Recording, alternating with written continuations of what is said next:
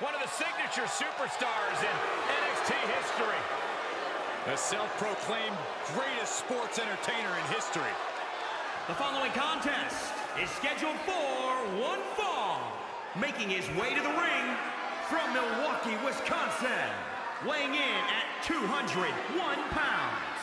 The NXT Champion, Tommaso Ciampa! No matter what you think about him, you can't deny Ciampa's as tough as they come. Yeah, we've seen Ciampa recover from not one, but two career-threatening injuries. Not only that, but he recovered ahead of schedule and came back in the best shape of his life. The worst place to be is across the ring from a motivated Tommaso Ciampa.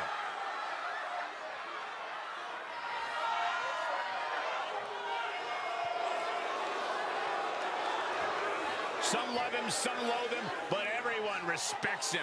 Well, lucky for him, Ciampa's not here to make friends. He's here to put food on the table for his family.